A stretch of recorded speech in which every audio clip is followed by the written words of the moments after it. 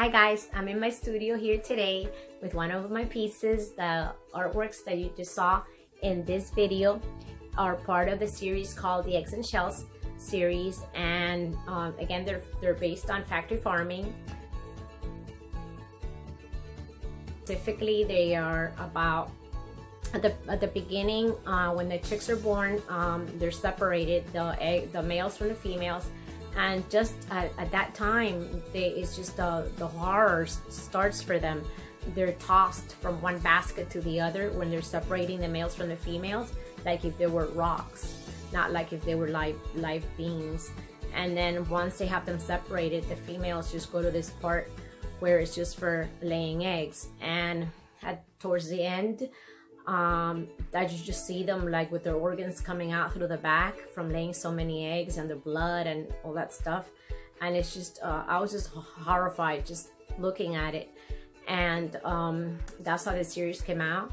And as always, my work is very, uh, is about things that affect me and how I perceive the world and how I perceive things. And they're, they're come from a very deep part inside me. And um, my work is very personal in that sense. So that's what this series is about. So hope you, you enjoy it and can appreciate it. Thank you.